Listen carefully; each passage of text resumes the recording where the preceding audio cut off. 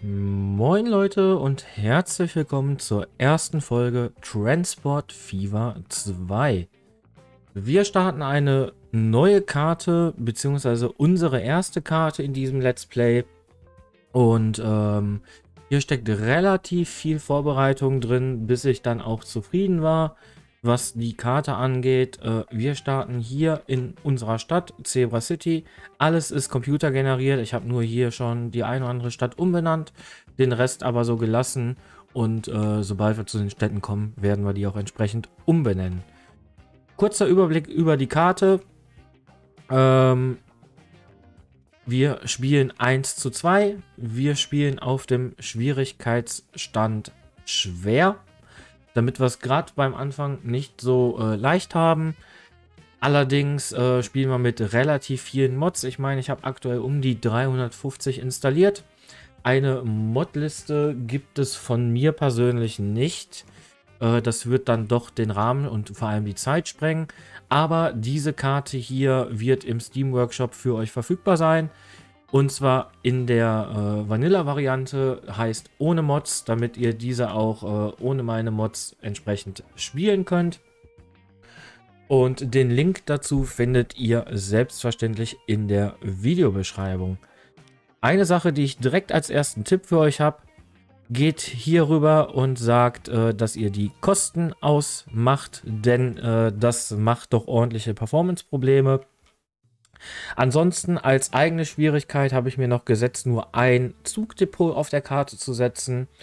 Und äh, das kann dann durchaus interessant sein, wenn wir hinten auf der Karte ankommen und der Zug da erstmal äh, 20 Minuten zum Bestimmungsort braucht. Für den Start habe ich mir überlegt, werden wir erstmal hier eine Route einrichten vom Bauernhof zur Lebensmittelfabrik um einfach schon mal ein bisschen Geld zu generieren. Dann kümmern wir uns hier um den Nahverkehr und binden eine zweite Stadt an. Ich denke mal, da der Weg hier doch relativ weit ist, äh, fangen wir dann hier an mit einer Fernbuslinie, zwei Nahverkehre und gut ist. Ansonsten sehen wir auch schon, hier in den ganzen Städten wird überall Baumaterial benötigt. Heißt, auch hier können wir vielleicht schon mal eine erste Baumaterialroute starten auch um einfach schon mal ein bisschen Geld zu generieren. Denn auf schwer ist es gar nicht mal so leicht, in die grünen Zahlen zu kommen. Wir starten. Ihr seht auch schon, die Straßen in den Städten sehen ein bisschen anders aus. Das äh, ist die Mod Better Roads. Kann ich auf jeden Fall empfehlen, weil die Straßen sind dann doch schon, ja, ein gutes Stück schicker. Und wir bauen die Stadt hier auch direkt ein bisschen aus. Kostet natürlich ein bisschen Geld, aber das werden wir doch hier zur Verfügung haben.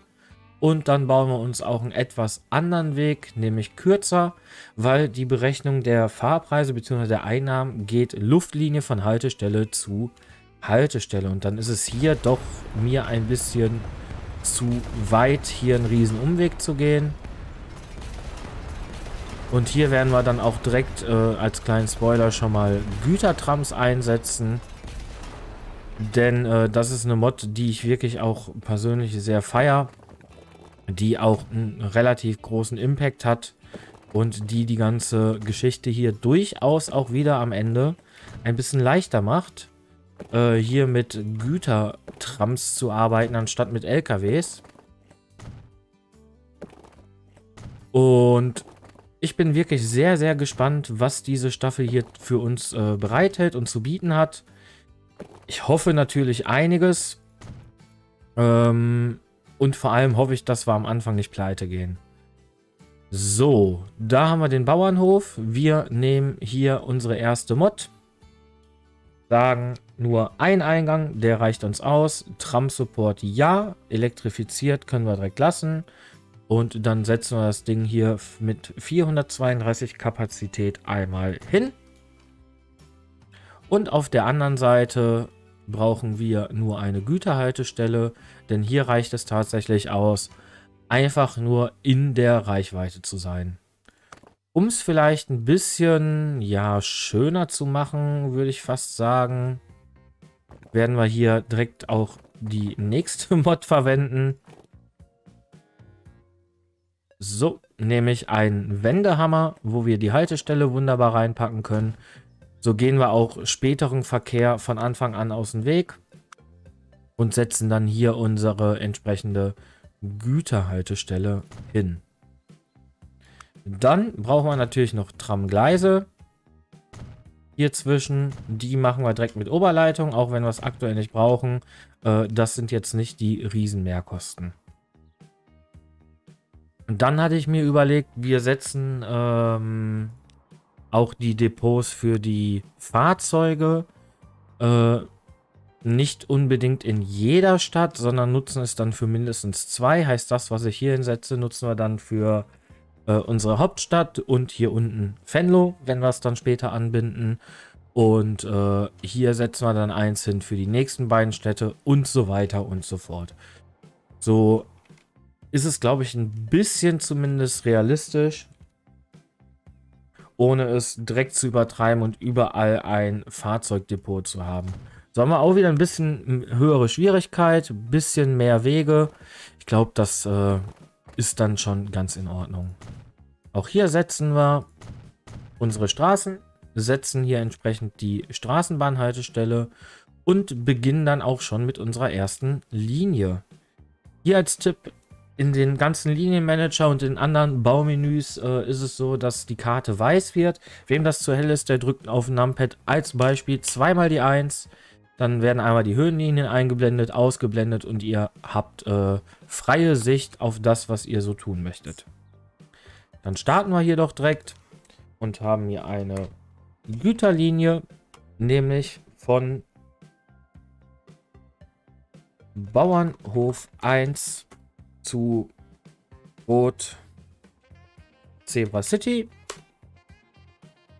So werde ich auch alle Güterlinien benennen, zumindest äh, was die Straße angeht. Bei den Zügen werde ich es wahrscheinlich mit GZ abkürzen für Güterzug. Aber da bin ich mir noch unsicher. Wir stellen hier ein, dass er vollladen soll. Und zwar so lange, bis er wirklich auch vollgeladen ist. Und wir gucken uns an, der Bauernhof hat 400 Kapazität.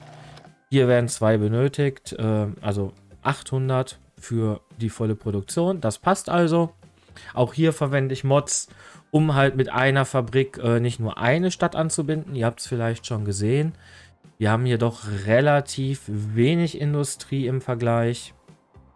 Moin Kollege Autosave. Ich glaube, der Kollege wird uns hier durchaus lange begleiten und immer wieder ähm, ja, stören an der Stelle. Und ähm, ja, Vorteil von weniger Industrien ist, dass wir mit einer Industrie wirklich mehrere Städte versorgen müssen. Ich würde hier mal erstmal 10 kaufen. Für schlanke 2,6 Millionen. Und die setzen wir dann auch direkt drauf. Und schauen sie uns auch direkt an. Ist ein bisschen herausfordernder, herausfordernder, wenn man nicht nur eine Industrie pro Stadt hat, sondern äh, ja, die Industrie wirklich äh, über die halbe Karte quasi transportieren muss. Da kommt dann auch ein großes Güternetz am Ende zusammen. Und hier fahren sie raus, unsere Dampftrams, die sich nachher den Berg hier hochquälen müssen. Denn, das ist etwas, was ich ja schon mal zeigen kann, die Stadt hier liegt wirklich auf dem Gipfel bei ungefähr 117 Metern. Zu Vergleich der Bauernhof, der liegt auf äh, fast Meeresspiegel mit 7,4 Metern. Heißt, hier hat die Tram einfach mal gute, ja, 110, 120 Höhenmeter zu absolvieren. Genauso hier später die Pferdenbusse und auch die Züge, sobald sie eingesetzt werden, äh, haben hier durchaus einige Höhenmeter zu machen, die man erst sieht, wenn man auch wirklich nah rangeht und dann auch äh, am besten von unten schaut, würde ich sagen. Genau. Und da sehen wir, es geht doch schon ganz schön bergauf. So, dann schauen wir mal, dass wir hier unsere ersten Linien auch direkt einrichten, damit wir hier einfach äh, ja, zügig vorankommen und hier schon mal ein bisschen Nahverkehr generieren. Dann fangen wir nämlich an mit einem Fernbahnhof. Da können wir auch sehr, sehr gerne erstmal Ära A. Ja, wir sind noch in Ära A. Wir sind, haben nämlich gestartet am 01.01.19. Äh, aber das ist äh, Cargo, oder? Nee. Passagier, passt doch. So, denn hier können wir direkt auch, äh, wenn wir denn lustig sind, einen Riesenbahnhof hinsetzen. Wollen wir aber erstmal nicht. Uns reicht erstmal ganz am Anfang eine Plattform. Die setzen wir auch ruhig ein bisschen außerhalb hin. Damit wir einfach noch genügend Möglichkeiten haben, das Ganze zu erweitern. Wir setzen die Straße hin. Hier baue ich immer gerne über die Kreuzung weil dann ist äh, klar, dass die Straße hier im rechten Winkel ähm, sich hinbaut und wir nicht irgendwelche komischen Kurven drin haben. Was wir aber direkt machen werden, ist ein zweiter Eingang und vielleicht nochmal ein, zwei mehr Haltestellen, beziehungsweise ein bisschen mehr Länge. Und dann setzen wir hier auch die Stadtstraßen weiter. Gehen auch hier weiter. Können das wieder abreißen und haben hier eine saubere 90-Grad-Kurve. Das hier hat so ein bisschen was von äh, San Francisco. Wie es hier äh, stufenweise bergauf geht. So, wir haben unseren ersten Abzweig gesetzt. Ich würde sagen, wir starten auch direkt mal mit einem Nahverkehr. Nimm dafür hier die schöne Mod mit den Haltestellen und für den, führen den Nahverkehr zuallererst mal durch das Wohngebiet. Auch das in beide Richtungen. Wir machen nämlich eine ähm, ja, Linie, die auf, in beiden Richtungen hält. Kann ich euch auf jeden Fall auch nur empfehlen, das so zu machen. Wobei beim Nahverkehr, ja, da scheiden sich so ein bisschen die Geister, weil es durchaus ähm, verschiedenste Ansätze gibt, wie man einen Nahverkehr organisieren kann. Und da fängt die Stadt auch schon an, von selber zu bauen. Das möchten wir haben. Ich mache es gern so, dass ich quasi eine Ringlinie mache. Äh, beziehungsweise eine Linie, die irgendwo hier dann anfängt zu drehen. Die darf auch ruhig am Anfang ein bisschen länger sein. Und ein, zwei Haltestellen mehr haben. Und hier darf sie dann abbiegen, rumgehen. So können auch die Passagiere hier nochmal in die anderen Haltestellen umsteigen. Und hier dreht der Bus dann und fährt entsprechend zurück. Beziehungsweise vielleicht innerstädtisch sogar direkt eine Tram. Schauen wir mal.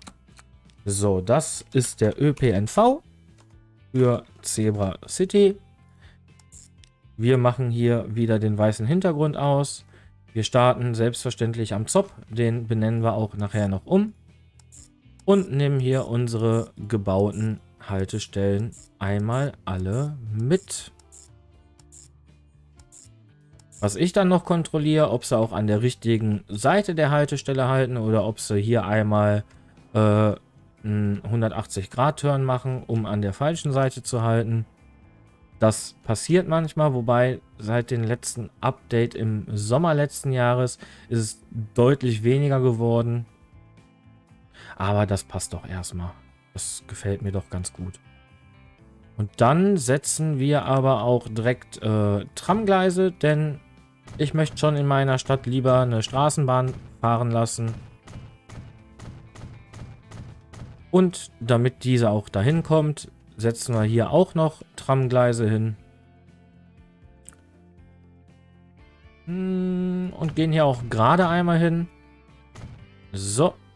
So hat er nämlich den direkten Weg hier oder mehr, mehr oder weniger direkten Weg hier zum Zop. Den benennen wir dann auch entsprechend direkt um in Zop. Und ich würde sagen, wir haben 1, 2, 3, 4, 5, 6, 7, 8, 9 Haltestellen wäre fast versucht, 10 Bahnen zu kaufen, was aber vielleicht für den Anfang ein bisschen zu viel ist. Wir machen, versuchen es erstmal mit 8. Kostet uns auch schlanke 750.000. Und setzen die Straßenbahn dann entsprechend ein. Die Stadtbahn Halle mit einer Kapazität von 11. Und schauen mal, wie sich das einpendelt, ob die Linie Gewinn oder Verlust macht und ob wir da dann nochmal aufholen. Währenddessen können wir auch hier schauen. Hier sind die Trams angekommen und laden das Getreide auf. Und ob die ausreichen, können wir auch gucken.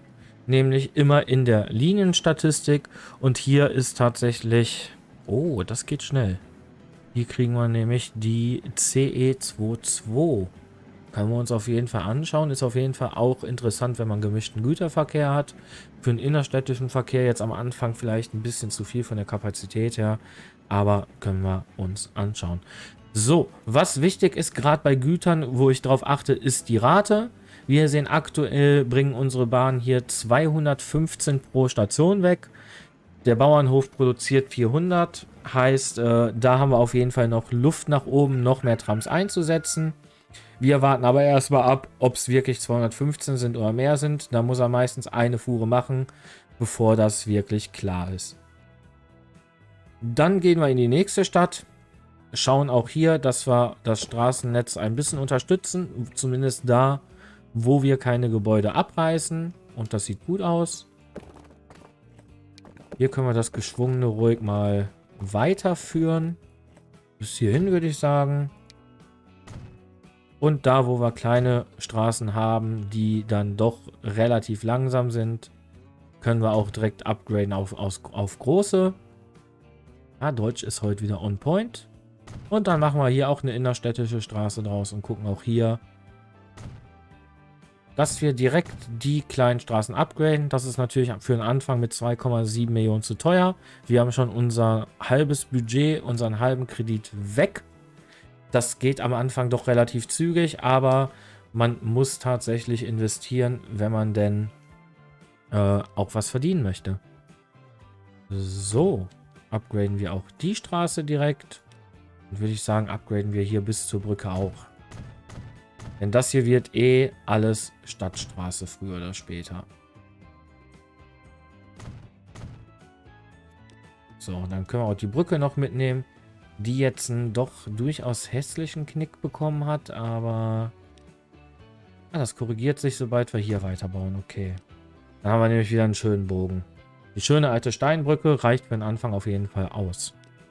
Hier machen wir dasselbe. Ich würde sagen, wir machen keine großen Experimente. Ich habe hier noch einige Mods, die dann später interessant sind, wie hier diese mit Wendeschleife. Aber wir gehen auch hier erstmal mit elektrifizierten Tramgleis ran und setzen hier den Standard-Zop. Den können wir auch ruhig so hinsetzen. Ja, den setzen wir direkt so hin.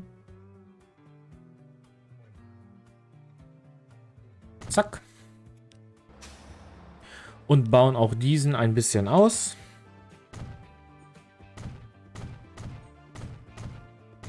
So und setzen auch noch einen zweiten Straßenzugang hin und schließen das Ganze dann jetzt entsprechend ans Straßennetz an. Hier vielleicht nicht ganz so nah an die Brücke. Und das ist etwas, was ich sehr, sehr ungern sehe. Wir können es aber auch nicht korrigieren, weil der Abriss hier zu teuer ist. Also ich hätte es gerne hier dran, dass es eine Kreuzung ist. Wir können es jetzt am Anfang leider nicht verhindern beziehungsweise korrigieren und müssen einfach damit leben. So. Mit Oberleitung, ja. Wohl, hier brauchen wir noch gar keine Oberleitung. Wir nehmen es erstmal raus, weil hier möchte ich dann erstmal einen Bus einsetzen und dann schauen, äh, wie sich das Ganze entwickelt. Da wir jetzt hier vielleicht sogar für drei Städte mal ähm, ein Depot bauen, bauen wir das Busdepot doch einfach so ungefähr hier in die Mitte. Setzen das mit äh, Punkt und Komma, beziehungsweise hier mit Komma ein bisschen runter, dass es reinpasst. Am Anfang werden wir auch kein Terraforming betreiben. Nein, kein Tramgleis bitte. Weil auch das ist für den Anfang deutlich zu teuer. Und dann können wir hier auch schon die nächste Stadtlinie planen. Das ist auch das erste, was ich mache, bevor ich hier den Fernbus einsetze. Wir gehen einmal rein wieder in die Gebäude. Nehmen hier wieder die mittelgroße Station und schauen mal, wo wir sie am besten lang führen. Ich würde sagen, wenn wir hier rausfahren, darf er hier als erstes halten. Dann hier oben macht hier oben den Schlenker, um die Wohngebäude entsprechend mitzunehmen. Und ich hoffe natürlich, dass wir direkt am Anfang mit diesen Linien hier auch Gewinn machen. So, er darf hier eine große Runde fahren, das passt. Und dann können wir auch schon die nächste Linie einrichten, nämlich den Nahverkehr hier für Mülheim. Das machen wir selbstverständlich genauso wie die andere Linie. Hier möchte er einen Weg gehen, den ich mit dem nicht gehen möchte, weil hier hat er unnötige Kurven drin. Das können wir ihm aber auch äh, erzwingen, indem wir hier einfach vor der letzten Kurve sagen, Wegpunkt setzen. Dann haben wir hier den Kapellenweg. Und bevor er hier an der neuen Straße hält, da wir den Wegpunkt mitnehmen und hat hier die Gerade, anstatt da noch zweimal extra abbiegt. Ist immer ein kleiner Vorteil. Ja, das sieht geschmeidig hier aus, aber wie gesagt, gefällt mir nicht. Also ich hätte es gerne in einer Kreuzung. Und ich werde es auch irgendwann machen, wenn unsere Finanzen und unsere Einnahmen stimmen. Aktuell ist es halt leider noch zu teuer. Dann kaufen wir uns jetzt hier den ein oder anderen Bus. Leider kränke ich aktuell hier bei der Aufnahme noch ein bisschen. Ähm, so, was nehmen wir denn für den innerstädtischen erstmal? Ich würde sagen, der Mac ist ein ganz gutes Fahrzeug. 1, 2, 3, 4, 5, 6. Nehmen wir erstmal 6 Stück. Aufstocken können wir immer noch. Das auf die Linie 1, die wir gerade nicht benannt hatten. Was wir noch ändern müssen in ÖPNV. Mülheim.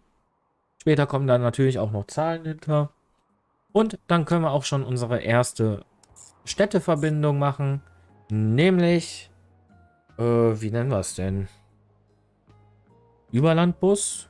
Fernbus? Nennen wir es Fernbus. FB. Fernbus, Zebra City. Mülheim.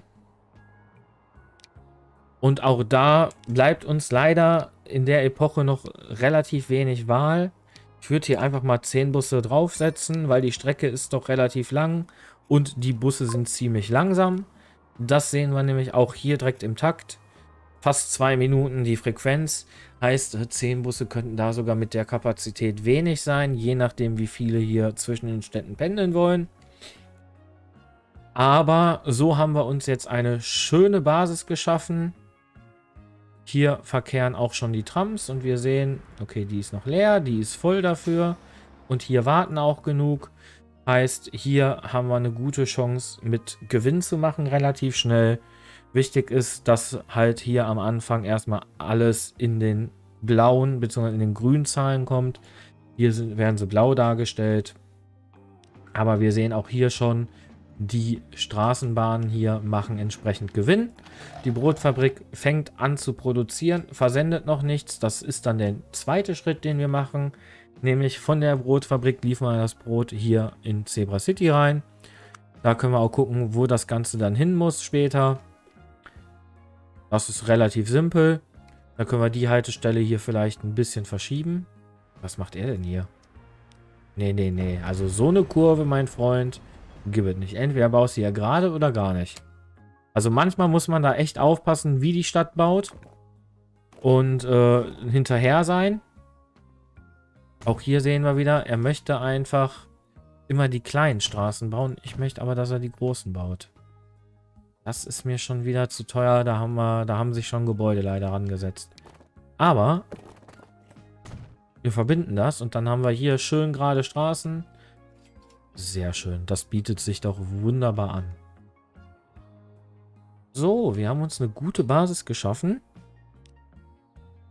Und hier fangen wir auch an, Gewinn zu machen. Wir sehen, 200 ist, die, äh, ist der Jahresdurchsatz. Heißt, äh, wenn er hier 400 produziert, kriegen wir gerade mal die Hälfte weg. Da ist auf jeden Fall Potenzial. Deswegen kopieren wir uns direkt mal noch fünf Fahrzeuge. Zahlen hier im Kredit mal anderthalb Millionen zurück. Weil am Anfang die 10 Millionen sind nur auf Pump und dafür zahlen wir entsprechend auch Zinsen. Und die Zinsen können wir uns auf jeden Fall sparen bzw. ein bisschen drücken, indem wir was zurückzahlen, wenn wir gerade sowieso nichts unternehmen. Und noch etwas, was wir jetzt am Anfang erstmal machen müssen, wo ich später dann separate Folgen draus mache, sind Mitfahrten. Denn, ja, viel leisten können wir uns aktuell nicht. Deswegen würde ich sagen, steigen wir hier in die erste Tram einfach mal ein. So, hier als Fahrer. Na, noch einen Schritt nach vorne. Und schauen einfach mal, wie die Strecke dieser Stadtbahn so aussieht. Hier sehen wir schon starke Steigung, aktuell 27 km/h. Das ist die Maximalgeschwindigkeit von dieser Straßenbahn, von der kleinen. Und äh, mal sehen, ob es mit der Leistung reicht, hier den Hügel hochzukommen. Aber es hat tatsächlich schon irgendwo ähm, so ein bisschen San Francisco-Style hier. Auch die Straßenbahnen sehen so ein bisschen aus. Äh, nicht ganz so, aber wenigstens ein bisschen. Und hier sehen wir, steigt leider niemand dazu. Die Straßenbahnhaltestelle ist leer. Ah, und backt sich auch leider in den Boden rein. Schade hier auf der äh, Schrägen. Aber lässt sich leider nicht vermeiden. Es gibt auf jeden Fall Schlimmeres als das. Und äh, ja, ich schätze mal, dass wir hier durchaus, sofern die Engine von der, ähm, vom Spiel es mitmacht, hier durchaus äh, sehr, sehr lange in der Karte verbringen können. Auch hier sehen wir ah, kleinere Fehlerchen, okay. Na gut, das gehört dazu, da kann man, glaube ich, drüber hinwegsehen. Ähm, etwas, was ich eher weniger bis selten betreiben werde, ist Schönbau. Das hier ist als rein wirtschaftliches Spiel zu betrachten. Natürlich schaue ich schon, dass es irgendwo dann, gerade wenn wir auf die Zugstrecken gehen und anfangen ähm, mit Zügen zu arbeiten, dass es halt schick aussieht. Die Haltestelle sieht sehr voll aus. Hier stehen doch einige. Und was sehr, sehr geil ist, ähm, meiner Meinung nach, ist natürlich jetzt um 1900 rum die Epoche, dass die äh, Sims hier entsprechend auch gekleidet sind. Das wird später deutlich anders aussehen. Da haben sie dann moderne Kleidung, auch die Gebäude aktuell äh, passend in das Zeitalter. Auch das wird sich im Laufe der Zeit ändern. Und äh, noch etwas, was ich machen werde, jetzt nicht in der ersten Folge, aber ich denke mal schon ab der zweiten, werden wir die Datumsgeschwindigkeit ähm, halbieren und die Spielgeschwindigkeit erhöhen, einfach damit wir mehr bauen können und nicht so viel an Mitfahrten haben. Ähm, weil, ja, ich kenne es von mir selber. Es ist nicht unbedingt immer jedermanns Sache und deswegen, wie gesagt, möchte ich da eigene Folgen draus machen. Moin, Herr Autosave, grüße dich. Und äh, ja, das bietet sich einfach wunderbar an hier ab und zu mal, wenn wir einige neue Strecken gebaut haben, diese dann äh, in separaten Folgen abzufahren und einfach mal so ein bisschen äh, Revue passieren lassen, was wir dann äh, so gebaut haben, wie das Ganze ausschaut, wie sich auch die Städte entwickeln. Da bin ich auch sehr, sehr gespannt, wie groß die Städte werden können. Gerade hier, ich sag mal, unsere Hauptstadt, die als, äh, ja, dann später wahrscheinlich mit einem Kopfbahnhof laufen wird. Ähm, was wir da alles noch anbinden an, an Strecken und an Städten und wie es auch mit Gütern aussieht. Ich möchte nämlich durchaus äh, teilweise kombinierten Schienenverkehr auch implementieren. Heißt Personen- und Güterzüge teilweise über gleiche Streckenabschnitte, gleich, äh, gleiche Gleise führen. Auch das bietet sich an. Manche machen es gar nicht und trennen das komplett, aber ich finde es sehr, sehr interessant. Es wird dadurch auch nochmal ein bisschen komplexer, nochmal ein bisschen spannender, äh, was die Taktung etc. angeht. Apropos Tat Taktung, da für mich äh, ein, ein, wichtiger Punkt. Ähm, ihr habt es vielleicht schon vorhin unten gesehen. Ich habe die Fahrplan-Mod installiert. Eine sehr, sehr geniale Mod, muss ich sagen. Und äh, die werden wir auch für die Züge einsetzen, für äh, Güter oder für den Personennahverkehr mit Bus und Tram werden wir es nicht nutzen tatsächlich. Da finde ich es dann doch äh, vom Micromanagement her ein bisschen drüber. Aber für Züge bietet sich das an, um da einfach gerade bei Personenzügen einen sehr, sehr vernünftigen Takt hinzukriegen Weil am Ende ist es dann so, ein Zug muss irgendwo warten und auf einmal fahren zwei Personenzüge derselben Linie hintereinander her. Aber ich rede hier die ganze Zeit über Züge. und wir sind noch meilenweit davon weg. Ich bin mal gespannt, ob wir es schaffen, innerhalb der ersten zehn Folgen äh, hier die ersten Züge auf die Karte zu bringen, weil die Strecken doch relativ weit sind zwischen den Städten. Habe die Karte auch extra groß gewählt mit relativ wenig Städten. Ich meine, wir haben 25 Städte auf der Karte. Heißt, äh, ja, da sind die Abstände einfach relativ groß. Das haben wir ja gerade schon gesehen und das werden wir auch beim Fernbus definitiv so sehen und erleben, dass die Abstände da groß sind und äh, ja, die Strecken aktuell noch sehr weit. Aber umso weiter wir auch in der Zeit vorangehen, desto schneller werden natürlich auch alle Fahrzeuge und dann ist das kein Problem mehr. Ich halte mir auch auf in diesem ganzen Safe Game vor, äh, die ein oder andere kleine Stadt auch nochmal dazwischen zu setzen. Da kann ich mir vorstellen, dass wir hier zwischen unseren ersten beiden Startstätten vielleicht noch ein kleines Dorf reinbringen, äh, wo wir dann unterwegs noch halten.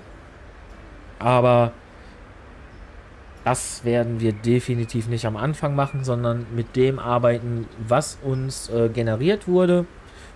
Und äh, ja, da schauen wir einfach mal. Da schauen wir mal, wie sich das entwickelt. Hier sehen wir auch schon, wir sind hier am Rande der Stadt. Hier wächst und gedeiht sie und wird immer und immer größer. Umso mehr wir natürlich hier anliefern und ähm, umso mehr wir transportieren, desto größer wird auch die Stadt. Können wir uns im Statistikmenü auch gerne hin und wieder mal anschauen, wie so das Städtewachstum aussieht. Aber ja, das kann schon was wirklich Großes werden.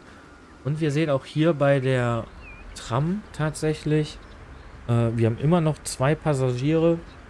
Heißt, äh, hier wollen die Leute auch bis an die letzte Haltestelle noch mit. Die Tram fährt nicht komplett leer die ganze Zeit. Ist ein Riesenvorteil tatsächlich. Äh, weil so haben wir eine gute Chance, dass unser ÖPNV auch Gewinn macht. Viele sagen nämlich gerade in Transport Fever und jetzt auch in Transport Fever 2, der äh, innerstädtische Nahverkehr muss keinen Gewinn abwerfen. Sehe ich anders, sehe ich komplett anders. Ich finde schon, dass er Gewinn abwerfen sollte, nicht unbedingt muss, aber am Anfang, äh, gerade hier auf schweren Einstellungen, sollte er schon Gewinn abwerfen. Später können wir ihn über Züge subventionieren. Da bauen wir ihn dann auch äh, noch mal ein bisschen mehr aus, um die Sims entsprechend schneller zu den Bahnhöfen und zu den Zügen zu bringen. Aber aktuell äh, ja, müssen die einfach mit Gewinn machen. Da reicht unsere kleine Getreidelinie zur Lebensmittelfabrik nicht aus. Und hier sind wir jetzt auch einmal mit der Strecke durch. Wir halten noch mal kurz hier, steigen dann aus, schauen mal, was unsere Finanzen sagen. Hier steigt einer aus, zwei ein, wunderbar. Und wir sind auch schon wieder ein Jahr weiter, im Jahr 1902. Hier haben wir den Dux bekommen. Ein schöner kleiner Bus für den innerstädtischen Verkehr, wie ich finde. Was sagten die Haltestellen? Okay. Die Fernbusse fahren. Fahren auch alle noch leer aus Mülheim. Und hier haben wir tatsächlich schon Leute drin. Sehr schön. Und auch hier warten schon Leute für den Fernbus und hier warten auch schon Leute, die über den Heideweg zu unserem zweiten Zop wollen. So. Und wir machen aktuell noch Minus. Okay. Unsere Getreidelinie macht Gewinn, subventioniert also aktuell die anderen. Aber das muss sich halt alles einpendeln. Die Busse und auch die Straßenbahn brauchten ja ein bisschen, bis sie angekommen sind. Und äh, so viel Minus ist es nicht. Auch der Fernbus, wenn der einmal richtig anläuft, dann glaube ich auch, dass der durchaus Gewinn abwerfen kann. Aber dann lassen wir es für jetzt und heute auch erstmal gut sein für die erste Folge. Ich hoffe, sie hat euch gefallen und wir sehen uns dann beim nächsten Mal wieder, wenn es hier heißt Transport Fever 2. Bis dahin. Ciao.